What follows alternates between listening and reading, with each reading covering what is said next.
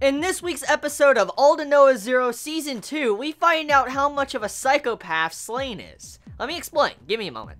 Slaine is actually looking at the princess as if she was like a bird in a cage, like a pretty bird he wants to keep in a cage.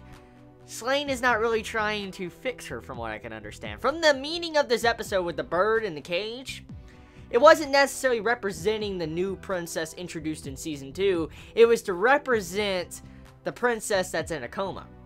So Slaine's a fucking psychopath. He, he, he has his princess in a display case. That's pretty much what he has. It's kind of fucked up. That, that's, that's really fucked up when you start thinking about it. Like, I, I have not really realized that watching season 2, but with this episode, they make it very obvious. Slaine he's kind of a little bit psychotic there. I mean, he, he he's keeping this girl he really loves in a glass case, pretty much in his eyes, and just admiring her. The fuck? Like, the fuck, Slaine? Like, what the fuck? Okay, so, I mean, you, of course there's gonna be other people out there that's gonna interpret that differently, but, I mean, from my interpretation of that, he's keeping the princess in the case, pretty much, like, you know, the cryo tube or whatever, not the cryo tube, like, you know, the stasis tube, yeah, that, that's it, the stasis tube to heal her, but technically he doesn't really want to heal her. He's just keeping her in that spot where he can always have her. So, it's kind of... I, I, I, don't know what to think about that, like, at all. I, I really don't. So, anyways, moving past that, let's just, you know, skedaddle past that, because I, I know for a fact, you know, that's not a good topic to be into. So, anyways, this episode of Aldnoah Zero Season 2. Episode, for the most part, exposition, setup, and that is pretty much the concept of this episode. That's exactly what it was. We once again have another episode that introduces death flags, setups, and just other things going on, the workings in the background, pretty much setting up for what is going to happen in the future. And for the most part, the episode is very slow. I will be honest here. The episode is very slow, and there's actually a lack of action in this episode, which is quite surprising, because if you think about it, I remember in the last review I did, literally in the last review, I said that it feels like Aldnoah Zero Season 2 has been nothing but action every single episode, and in Aldnoah Zero Season 1, there was uh, some episodes that actually took away from the action and gave us, you know, character development, you know, set up and build up and stuff like that, and Aldnoah Zero Season 2 hasn't really done that until this episode, so I'm glad this series, Season 2, decided to take a step back, stop with the action, which I, I love the action, don't get me wrong. I'm glad it took the time to take a step back and develop some, you know, plot lines and stuff like that, giving us some characterization, character development of these other characters, and I'm glad it took the time to actually do something like this. So the episode, for the majority, I could see how it might be boring to some, because if you're used to action in Aldnoah Zero, most likely this episode's going to bore the fuck out of you. I'm going to be honest. If you love your action and all that, and you want to see action in every single episode, this episode is going to look very boring. But majority of the episode was just meant to give characterization to that other count, also along with giving us some development of Inaho and Raylet, or Rayet, or whatever her name is, I, I always get her name wrong, pretty much giving us development between those two characters. And so, the episode is fine.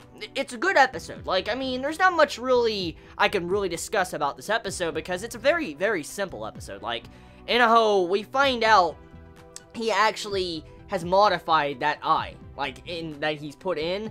Pretty much he modified that eye and expanded it somewhat where it can actually affect his brain if he goes too far with it. So, Inaho, like, oh god, that, that's gonna be some dangerous shit in the future. Like, that that's definitely not some obvious foreshadowing for a death flag because Inaho has experienced some weird shit going on with his brain, like he's been acting different, you know, showing emotions, slightly more emotions than he used to, and so I feel like that overall brain thing that was introduced or, you know, talked about in this episode, how it could possibly affect his brain before he realizes it, I'm willing to bet it's already starting to affect his brain, and that's probably what is going on here, so obvious death flag is obvious. So, past that, you also have it to where the dude at the end, the other count that's very racist towards Earthlings, is like, oh, I'll, I'll challenge you to a duel, duel, duel, duel, duel. I'll challenge you to a duel, and Slaine is going to kick his ass. Let, us just be honest here, okay? He has the forces. He just this dude is not going to stand up to Slaine. You, you can't stand up to fucking Slaine. No, no, it's not happening. It's not happening. I'm sorry.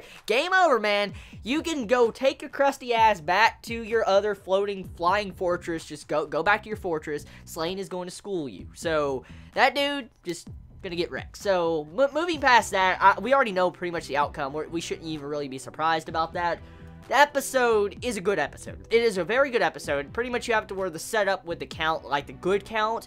Inaho sets up this little plot thread in this episode to where this dude is most likely going to help out Inaho in the future and probably going to lead to the downfall of Slaine because this dude really actually wants a peaceful, you know, affair with Earth. Like, he wants to keep Earth in good condition, and he really didn't necessarily want the war to happen in the first place, and he's kind of more on the princess's side. So, he's not really a bad guy. And so Inaho actually uses this aspect with this dude and actually forces him to go find out where the real princess is to protect her. So I like that. I like how the setup of this episode was handled with that. It was a decent episode for the most part. So that's pretty much it.